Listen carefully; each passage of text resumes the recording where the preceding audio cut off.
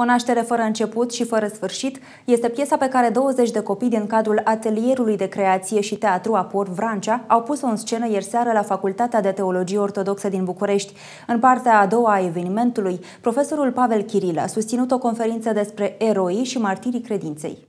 Piesa de teatru O naștere fără început și fără sfârșit este creația unui elev din clasa 8 -a și pornește de la un pretext istoric, un sat românesc aflat sub ocupație străină în primul război mondial. Când ocupantul străin hotărăște să transforme biserica și școala din sat în depozit de război, comunitatea trece printr-o adevărată criză.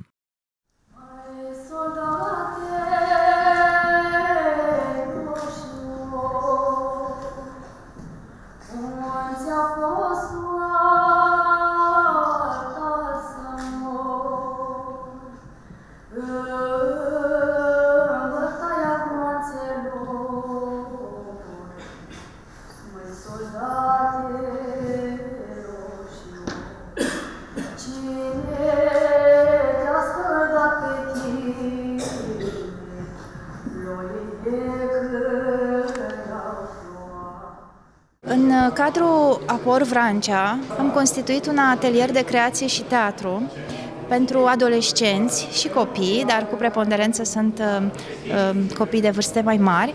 Uh, un atelier în care copiii își creează rolurile, își creează replicile, dau sens adevărurilor pe care ei le gândesc și le trăiesc și fac acest exercițiu de a pune în comun uh, ceea ce ei creează sub forma unei piese de teatru. Am ajuns la a șaptea uh, astfel de piesă de teatru. În partea a doua a programului, profesorul Pavel Chirila a susținut conferința Eroii și martirii credinței despre teologia martiriului. Noi citim în Apocalipsă că sufletele martirilor sunt sub jertfelnic, în altă parte se spune că sunt în fața tronului și în alt verset se spune că și-au albit veșmintele în sângele mielului.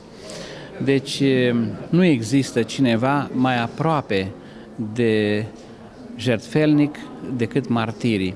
Și se subînțelege că dacă îi cinstim și dacă ne rugăm lor, avem șansele cele mai mari să fim ajutați de ei. Considerăm că cele două momente, momentul copiilor, care este minunat, și celălalt moment cu teologia mărturisirii se articulează, acum înainte de nașterea Domnului, inocența copilăriei și apoi dimensiunea mărturisitoare. Prezența acestor copii din Vrancea, așa cum am văzut în această seară, familia acestor copii care cred eu că pot să influențeze și să dospească și alte familii duhovnicești în biserica noastră.